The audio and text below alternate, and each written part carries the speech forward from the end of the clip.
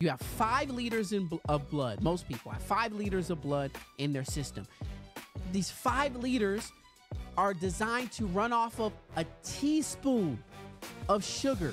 If you drink one soda, you are adding 39 grams of sugar into your body. That is 10 teaspoons, 10 times the normal amount that it needs. So now there's this chemical reaction that happens. Your body starts to produce insulin and it floods your body with insulin. Think of insulin as a cleanup crew that gets all of this extra sugar out of your system as quickly as possible because it's dangerous. Now, because your body can't process this uh, much energy at one time, it stores excess sugar into your fat storage cells.